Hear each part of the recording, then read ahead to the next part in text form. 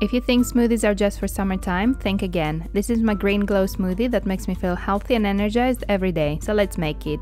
To make it, start by adding a block of frozen spinach in your blender. Then add the cucumber and celery and about 100 grams of frozen mango. And finish with about a cup and a half of water. Blend it up and it's ready to enjoy. Don't forget to save this recipe and follow for more. Stini Yamas. Delicious.